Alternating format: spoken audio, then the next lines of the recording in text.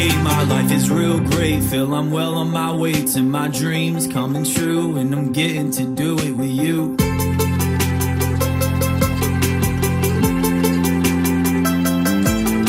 It feels so nice when the people sing along. They're singing along with the banjo. Good morning. Good morning. How you doing, Miss Langford? I thought you were getting your hair cut.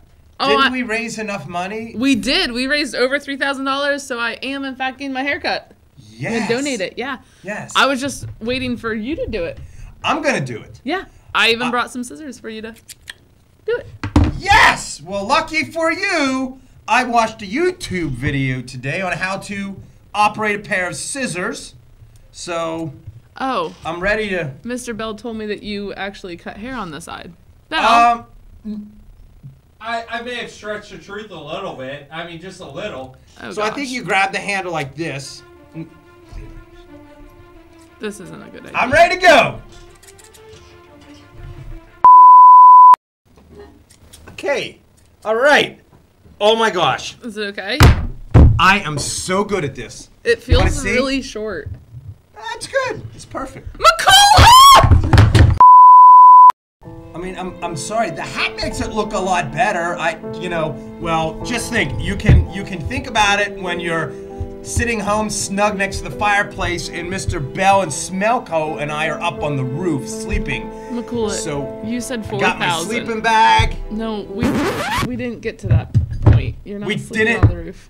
Bell, No, we're sleeping good at home tonight, buddy. We're we didn't raise four thousand. We were No. just short.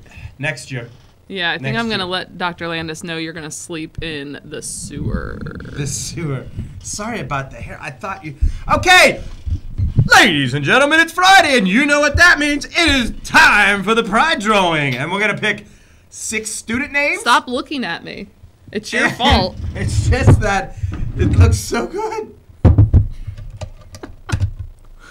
Oh, my husband's gonna kill me. All right, first one this week is Spencer Glasner for doing his work without complaining from Mrs. J. Way to go, Spencer. This one is for Alexa Horner from Mrs. Wildman for being personable and respectful. This is Daniel Gowan from McGurk, working hard to get caught up after absence. This one is for Tabin Warath, again from Mrs. Wildman. All right, my last one is for Jaden Barshinger from Mrs. Kirby for having great teamwork. Way to go, Jaden. And my last one is for Henry Whiteford from Mrs. Heichman for being dependable. Way to go. job. All right, We're gonna winners. pick two teacher names. Yep, make sure you head down to the counseling office to see Mrs. Stewart for your prize. Oh my gosh! Whoa, so that one many just popped out. What are we doing? First one is for Adrian Boblets from Mrs. Gavel. Way to go for doing Way everything. All right, and the next one is for Miss Soki from Claudia. She always has pride behaviors. So way to go, the two of you. Awesome. Also head down to the counseling office. All right, guys, we hope you have a wonderful weekend. I need to do something with my hair.